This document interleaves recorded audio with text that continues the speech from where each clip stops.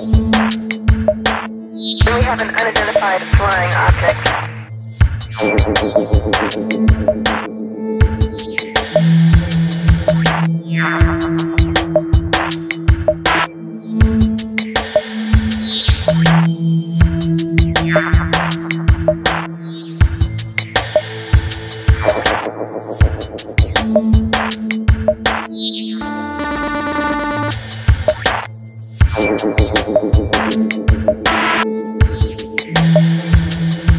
Really hit me when I got inside the craft and looked around and began to understand how the craft was operated and finally grasped the whole project as a whole, as what we were doing, the fact that we weren't building this thing, we were trying to find out how it was made. We were back engineering it. When I first got to look inside the craft, the, the, all I can say it's an ominous feeling.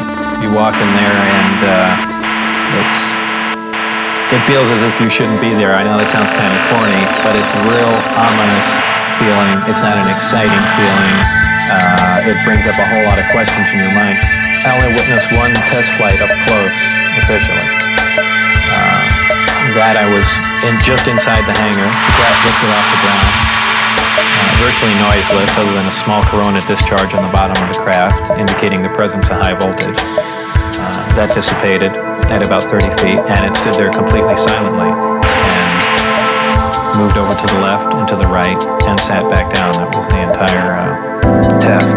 This was quite quite a scientific feat to lift something completely silently, under control,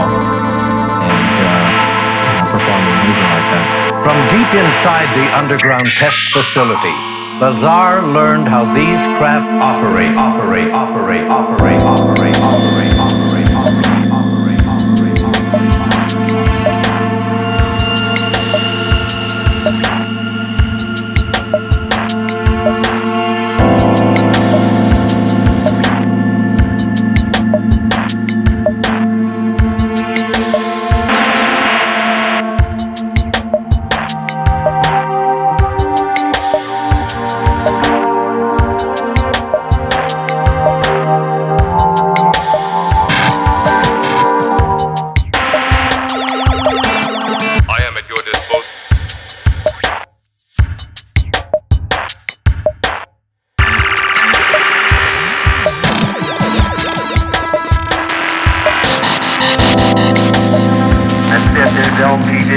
Roger, copy P-84. Sound update. Hey, there it is.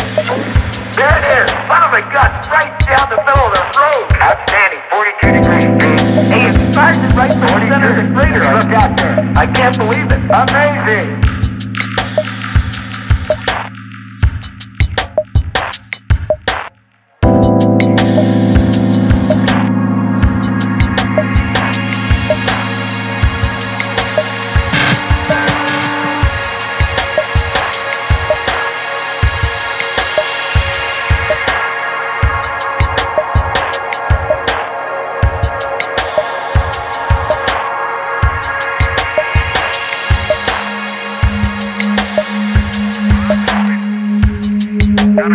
Is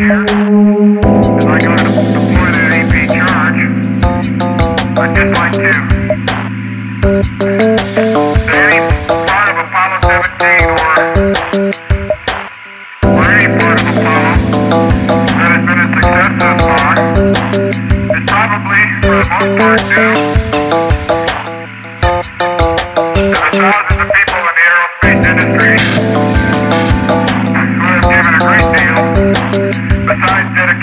has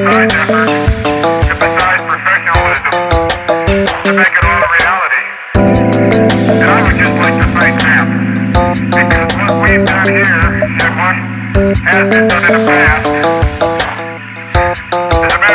what has been